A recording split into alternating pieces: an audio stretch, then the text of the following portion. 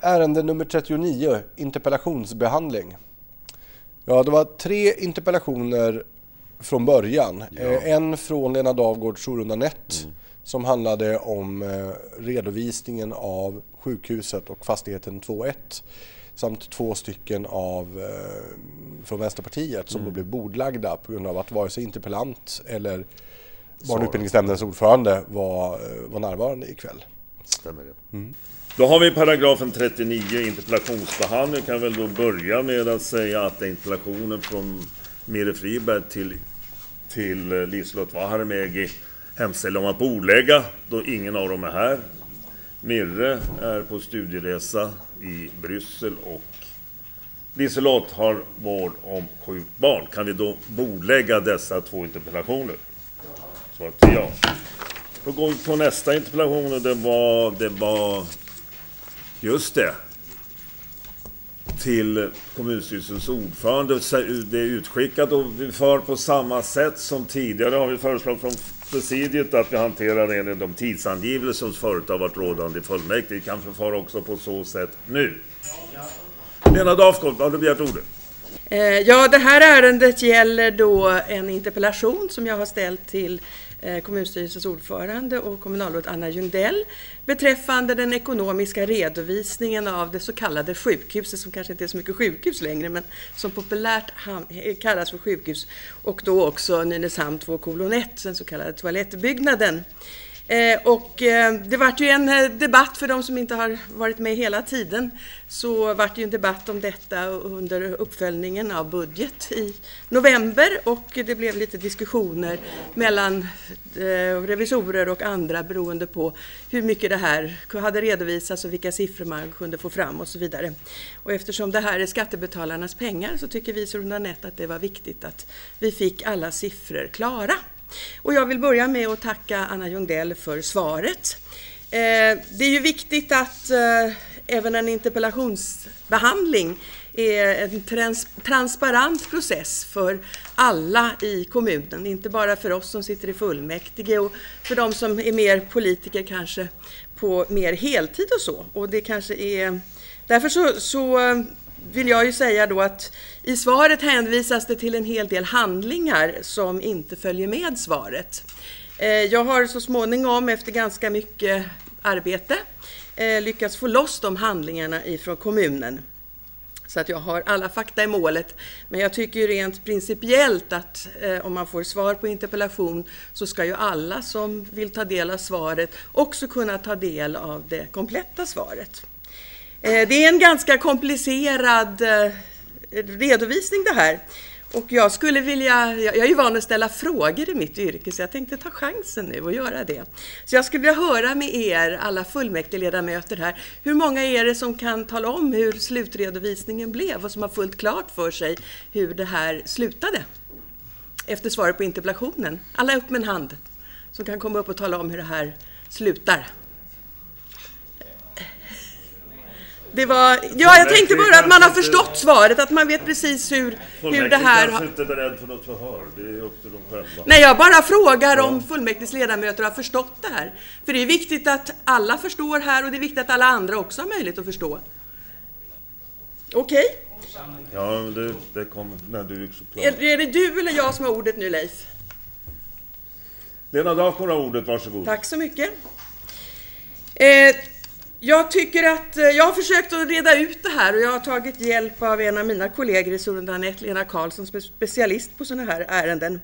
Och eh, vad jag förstår så är det inte bara de här åren som eh, står i svaret som det har blivit förlust, utan när det är förlust totalt från 2008 till 2011 vad jag förstår. Och att den to- eh, förlusten totalt är 31 miljoner. Och det ska då göras, om jag förstår det här rätt, vilket jag gärna vill ha bekräftat av Anna Ljungdell, eh, att då de här 56 miljonerna som var vinst från början, från det ska man dra den här hittillsvarande förlusten i garantihyror på 31 miljoner, så att det nu återstår 25 miljoner och åtta år då man garanterar hyran. Är det korrekt uppfattat av det här svaret? Eh, sen vet jag inte riktigt om jag kan se att svaret också täcker den här toalettbyggnaden, för att vad jag förstår så var det ett ärende som klarades av i KF 2008 och jag vet inte riktigt om det finns med och där har väl också kommunen lånat ut pengar till eh, den här in, det här inköpet och den här överföringen vad jag förstår. Och det vill jag också gärna ha vidare utrett så jag vilar så så länge. Tack! Ja, fullmäktige och Lena Dafgård. Låt mig påminna om vad frågeställningen är och det är hur ser den ekonomiska redovisningen ut för sjukhusfastigheten samt för Nynäshamns 2,1?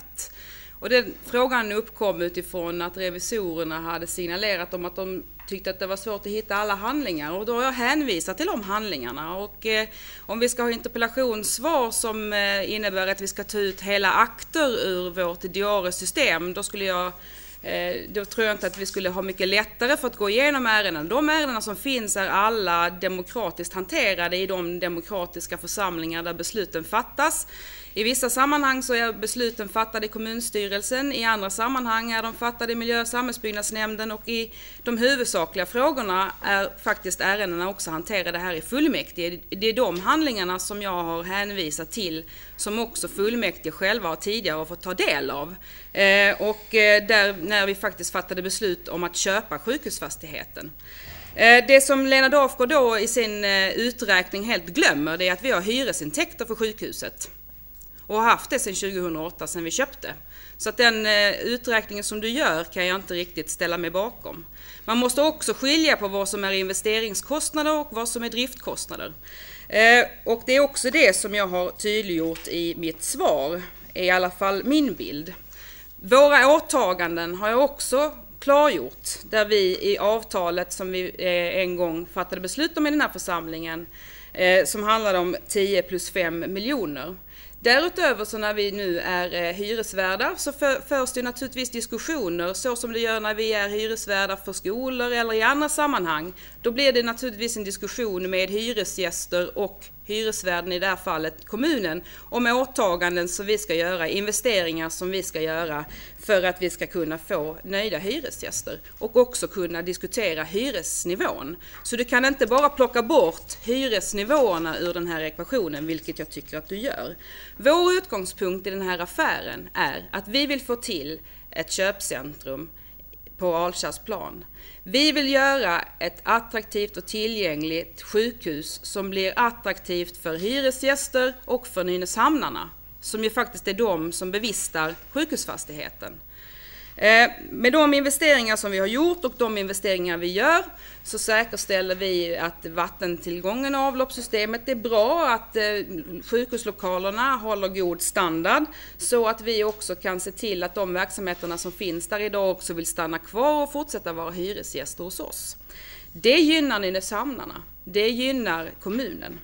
Eh, utgångspunkten för hur redovisningen ser ut jag ringde upp revisorerna eftersom det var därifrån själva diskussionen kom upp för att fråga dem vad de menade, vad det var de faktiskt saknade. Och jag tog också hjälp av vår kommunchef för att ta reda på vad det var de saknade. Och enligt dem så har inte det varit så dramatiskt så som diskussionen här i fullmäktige blev. Utan de har öppnat en akt just för att det här är en komplicerad affär. De har inte gjort någon slutrevision eller någon granskning utav affären utan just för att det är en komplicerad affär med många olika typer av avtal och är någonting som är lite unikt för Nynäshamns kommun att ha en affär av den här storleksordningen. Med bolag och med där vi är hyresvärdar och så vidare. Därför kommer de följa det här ärendet det känns tryggt för mig att våra revisorer, våra förtroendevalda och auktoriserade revisorer som är kommunfullmäktiges främsta instrument kommer följa den här affären, kommer se till att saker och ting sker på ett riktigt sätt och gör det inte det så kommer de också att eh, kunna lämna rapporter hit där de kan peka på om det är saker och ting som inte fungerar som det ska.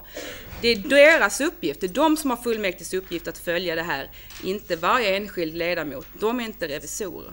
Ja, det kanske är bara jag som tycker att alla ska kunna ta del och förstå det här. Jag menar nog inte att alla ska ha alla avtal, men jag hade väntat mig att få siffror i svaret som gjorde att man förstod svaret. Eh, jag tycker nog inte att jag har struntat i intäkterna, men jag nämnde dem inte, utan jag nämnde bara vad eh, intäkterna minus kostnaderna blev. Intäkterna har ju varit då 2008 12,8 miljoner minus kostnader 7,7 vilket gör 5,1 och ett underskott blir då 1,9. 2009 var intäkter 12,8 minus kostnader 10,3. 2,2 miljoner, ett underskott på 4,5 miljoner. 2010 9,7 miljoner minus kostnader 5 miljoner. Det är, det är minus 5,3 miljoner, det vill säga ett underskott på 12,3. Och likadant var det då för 2011, ett underskott på 12,3, även om intäkter och kostnader har något annorlunda skrivning.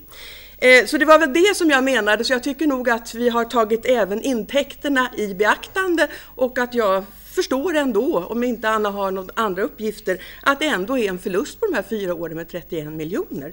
Och är det så att jag har fel så är det ingen som blir gladare än jag för skattebetalarnas skull. Eh, jag tycker faktiskt att eh, det känns lite märkligt att man säger att det är bara revisorerna som ska förstå det här. Jag tycker att det är viktigt att alla i kommunen förstår vart skattemedel går och vad de används till och att det blir transparent. Det är ingenting för oss som sitter bara i fullmäktige, att bara vi ska förstå det. Det ska alla i kommunen kunna förstå. Det är i alla fall Sorunda Nets definitiva uppfattning. Och jag är jätteglad om det är så att de här 31 miljonerna inte stämmer. För i så fall så innebär det kanske att den här affären just nu ser bättre ut än vad jag har fått fram att den gör. Det är möjligt att jag har skrivit otydligt och då ber jag om ursäkt för det. Men eh, jag tyckte att jag var tydlig. Jag tyckte att jag har begripit. Eh, för min egen del så hade, när jag läser till i mitt eget svar. 2008 hade Nynäshamn 7,7 miljoner i kostnader och 12,8 miljoner i intäkter. Det gav alltså 2008 ett plus på 5,3 miljoner bara där. Eh, och då hade vi inte sålt sjukhuset ännu. Ja, men då hade vi inte sålt sjukhuset ännu. Så då betalade vi ingen hyresgaranti för de åren. Eh, 2009 var kostnaderna 10,3 miljoner, intäkterna var 12,8. Det är 2,5 miljon plus. Eh, garantin, vad jag förstår, ingår ju i den totala kostnaden för sjukhuset. Och även de investeringskostnader vi gör. Så man kan inte ta varje del för sig och sen summera ihop det. Utan det som jag har redovisat är det, den information som jag har fått från fastighetsförvaltningen som nu har gjort Nynäshamns sjukhus till en egen enhet som vi ska följa som ett eget fastighetsobjekt. Det gör vi inte med några andra fastigheter egentligen mer än detta. Just för att det ska vara väldigt transparent och tydligt för både Nynäshamnarna och för de som sitter i nämnden. Och de investeringar vi gör där, de ska också bäras av intäkter över hela hyresperioden. Det innebär att vi är lite investeringstunga i början men det innebär också att vi kan förhandla om hyror och skapa en attraktiv, ett attraktivt sjukhus för Nynäshamnarna. En bra miljö för Nynäshamnarna att bli vårdade i, att komma och besöka och att finna sig för de som jobbar där blir det en bra miljö. Eh, och ytterst så hade vi Carema till exempel hade vi kanske inte haft som hyresgäster i Nynäshamn idag om inte vi hade varit där och sett till att de fick bra lokaler för sin verksamhet. Så att eh, Ja, min bild är att jag har redovisat det som, som eh, interpellationen frågade efter. Och sen får vi fortsätta följa. Det kommer redovisas i bokslut. Det kommer, eh, revisorerna kommer följa det här på olika sätt. Alla delar i affären är inte heller avslutat, vilket jag tydligt har pe pekat på. Vi har ju kvarvarande intäkter på närmare 50-60 miljoner när projektet sen börjar bli verklighet och det beviljas bygglov både på själva affärsdelen, Eh, och på bostads, eh, bostadsprojektet som ligger ovanpå så kan det generera ytterligare uppåt 60 miljoner, kanske till och med mer än så, eh, när eh, vi faktiskt börjar sätta spaden i jorden. Så att frågan är ju på något sätt inte avslutad i och med det här och de beslut som hittills är fattade. Och på, målet måste ju ändå vara det som vi alla har haft som, som huvudprojekt och det är att få till Eh, den här bra lösningen som det fanns en stor uppslutning kring i fullmäktige, både när det gällde att öka tillgängligheten till sjukhuset, skapa en bättre och mer attraktiv miljö på Alkärrsplan och se till att vi ökar och förbättrar förutsättningarna för god service och handel i en av de mest centrala platserna i Nynäshamns kommun. Kan vi då konstatera interpellationen från Ina Dafgård till kommunstyrelsens ordförande Anna Ljungdell i denna fråga är färdigbehandlad? Svaret är ja. De var också överens om att vi bordlägger de två ytterligare interpellationerna till nästa sammanträde. Svaret är ja.